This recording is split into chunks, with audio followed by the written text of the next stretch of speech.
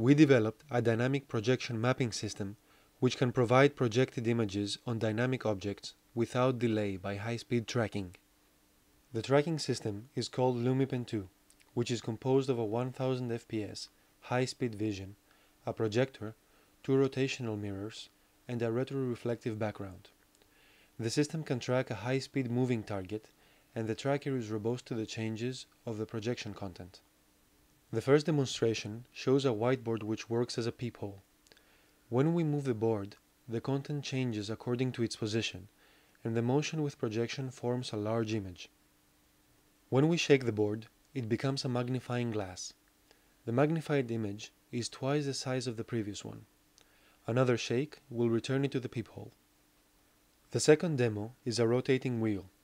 When we throw up the board, we can observe the rotation of the wheel. When we catch it, the rotation stops. The last demonstration is the Earth with a white ball. Originally, the Earth was a magma ocean. It cooled down over many years and turned to the present Earth. The tracker is still robust to any random collision accidents.